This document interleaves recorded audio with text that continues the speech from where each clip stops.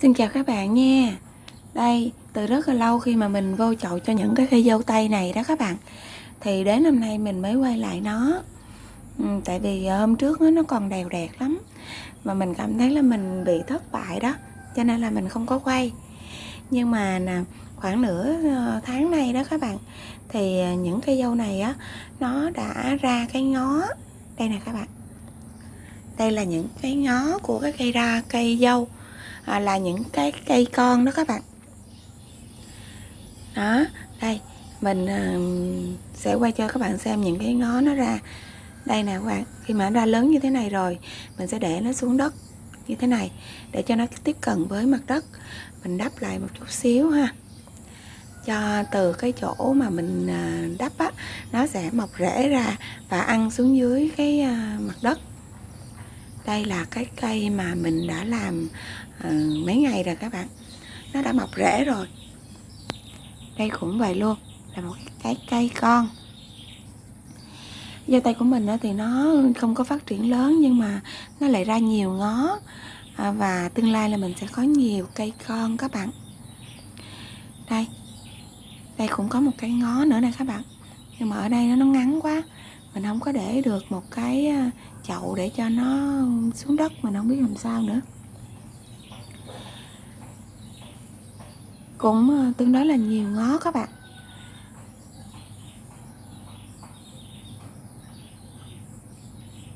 Được ờ, vài cây. Và bây giờ mình sẽ ờ, sử dụng những cái ngó này để mình ươm ra để cho được nhiều cây. Không biết là tương lai có được ăn trái dâu tây không đây nữa. Nhưng mà hôm nay á là những cái lá này á, là đã tốt rồi đó các bạn.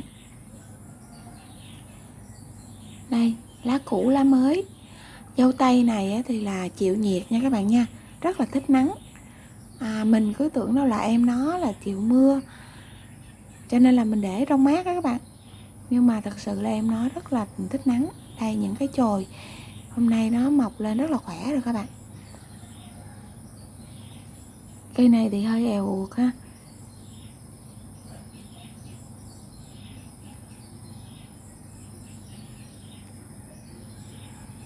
Đó đây là cái cái cây mẹ. À, các bạn nhìn thấy là cây mẹ tuy là ốm yếu nhưng mà cũng có được vài cây con luôn á. Nếu như mà mình muốn à, cho à, dâu tây của mình có trái á các bạn thì mình sẽ ngắt bỏ hết những cái à, ngó ờ, để mà mọc ra cây con này các bạn ha. Thì à, cái chất dinh dưỡng sẽ dồn vào cái thân cây lớn. À, và sẽ à, ra hoa ra trái. Thì cái này mình tham khảo rất là nhiều ở trên youtube ờ, mà các bạn khác hướng dẫn á. Cho nên là mình sẽ à, ờ, bây giờ hiện tại thì mình muốn là nhân giống ra.